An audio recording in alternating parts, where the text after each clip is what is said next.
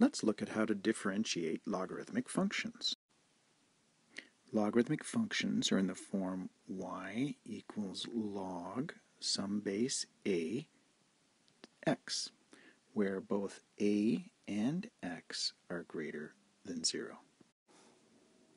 Turns out that the derivative of y with respect to x is equal to 1 over x times the natural log of the base a times the derivative with respect to x of x.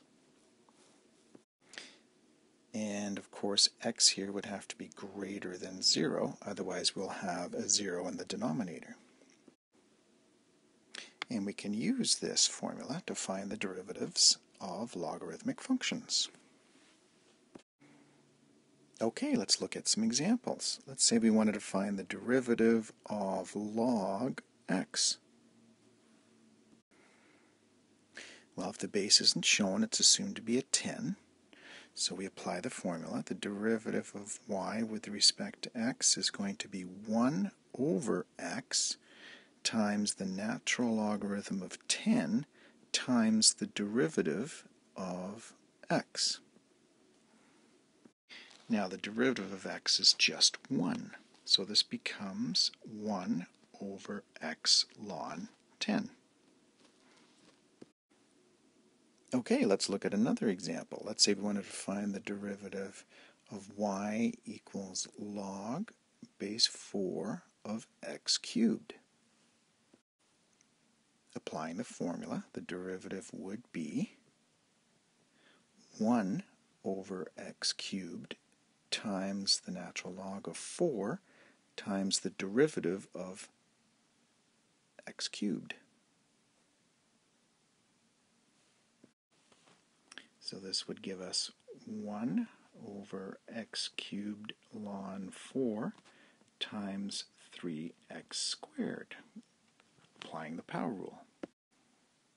We can then cancel out a couple x's there, leave 1 in the bottom, and we would end up with 3 over x ln 4. Now there is another way we could have done this second example by applying some properties of logarithms. We could rewrite this as y equals 3 log 4 to the x. And so the derivative of y with respect to x would be 3 1 times 1 over x ln 4, which would give us 3 over x ln 4. Same answer. Okay, let's come back and we'll look at a special case. Let's look at the natural logarithm. What if we wanted to find out what is the derivative of y equals to the natural logarithm of x? The base of the natural logarithm is e. So if we apply the formula, dy dx would equal 1 over x times the natural logarithm of e. Now, ln e is simply equal to 1, so this becomes 1 over x times 1, or just simply 1 over x. Remember, ln e has base e, and we want to know what that value is. Let's say it's x, or this, let's call it y in this case. So we know that using our properties, e to the y is equal to e, and e could be also written as e to the 1. Therefore, y is equal to 1. So ln e is equal to 1. Let's look at this graphically. This is the graph of y equals ln x. Let's say we wanted to know what was the slope of the tangent line when x is equal to 1, right here. Well, let me draw in a tangent line as best I can, something like that. To find that slope, I'd simply substitute 1 into the derivative of the ln function. So if the derivative is 1 over x, I substitute 1 in for x. 1 divided by 1 is 1. Therefore, the slope of this line is equal to 1. Well, what if I wanted to know what the slope of the tangent line when x is equal to 4? So this point right here. Again, I'll draw in this the tangent line as best I can there, so something like that.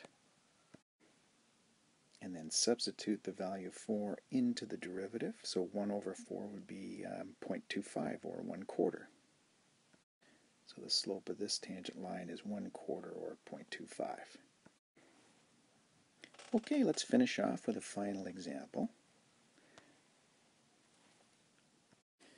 What if we wanted to find out the derivative of log base 2 of x squared times the natural logarithm of x cubed?